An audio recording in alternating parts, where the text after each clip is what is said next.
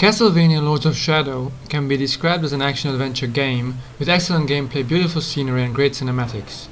A lot of people wanted a game that's more close to the franchise and a lot of people just describe it simply as a God of War rip. I'm going to take a different approach and show you what the game really is. So let's get to it. Warrior, are you aware of what is happening in the world? You play as Gabriel Belmont, a member of the Brotherhood of Light. He is sent to Pan, one of the main characters in the story, because of a dream that your wife might have the answer for the world's suffering. And so the journey begins. One of the things that I immediately noticed was how the game gives you the exact feeling of a journey. Through the map you can see how far Gabriel has to travel.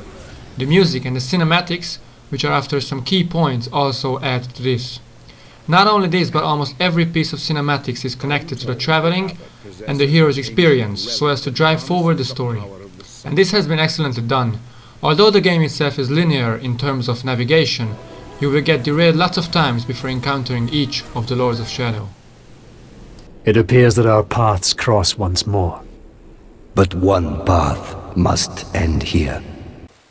Almost all of the characters fit well into the story, each of whom get an introduction either in scenes or texts or even monologues.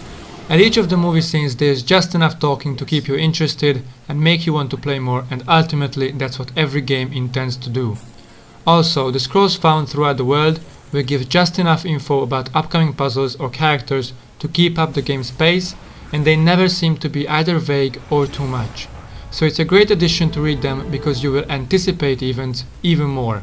Zobek, your partner in this mission, reads out the monologues before each section of the game. This way he sets the mood, provides some background, or even furthers the story.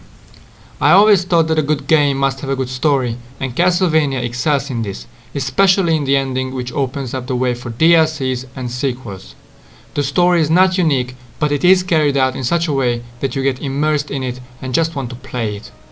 In addition, it's almost like the game sees how after each of the section you get a bit tired and so gives you these scenes and turns in the story to keep you going, which is great I think.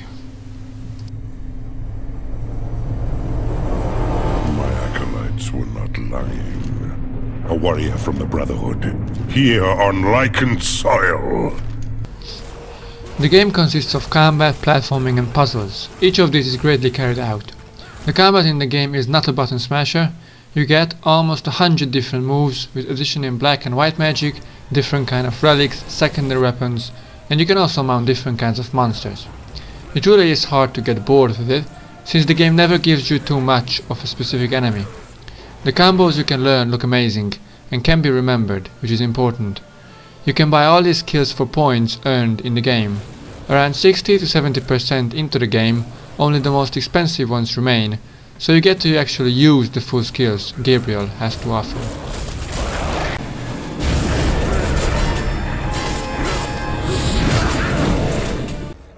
In almost all of the levels there are also mini-bosses with again cinematics, gates you have to pass in order to progress, and so on. Each of the hundred enemies or so get an introductory scene, some you'll meet more often than others. The wide range of enemies again are cleverly thought out and an experience to battle with. In addition, you use the full set of secondary weapons, relics and magic, because there will be times when it gets rough.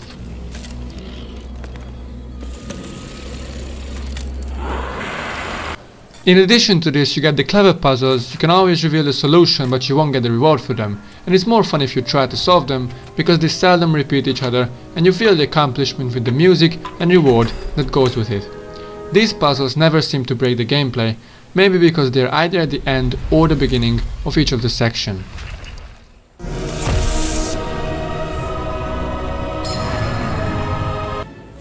The third part of the game consists of platforming. It's either because of the scenery or because of the sheer height and various difficulties that it never gets boring. The developers try to give you the feeling that you're not climbing where they want you to climb, but more like in a natural way. You get to reach scaffoldings and mountains, climb to the highest peaks and towers. It's almost like the developers said to themselves, why don't we spice it up here and there and make a difference? And we arrive at the graphics, which is amazing. Not only do the visuals look good, but there are a variety of them, from the vampire castle at winter to these lush green environments, eclipsed sun surroundings, ruined cities, and so on. It's a great experience to fight, climb, solve puzzles, or do anything in such circumstances. You cannot explore all the way around because this is not an RPG, but that's not a problem if you're not looking deliberately where you cannot jump. So if you just play the game, you get the sense like you could go anywhere. The game also cleverly zooms in and out into these scenes so you get the full experience. The camera also works terrific with the environment. If it's snowy, you won't see that much. The screen will show signs of freezing cold. If it's windy, the camera will not keep still. Again, just an immersing experience. Also, in a lot of instances during even gameplay, you get chorus songs, which again is excellent. By the way, the game's audio leaves no questions behind.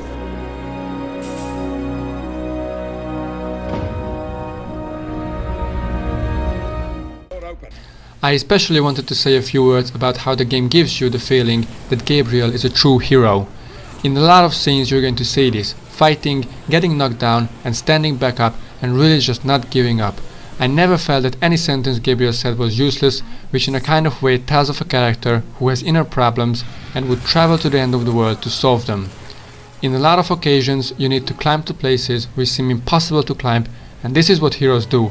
They climb to the highest peaks, they fight against all odds with the deadliest enemies and still survive and get back up and continue their journey.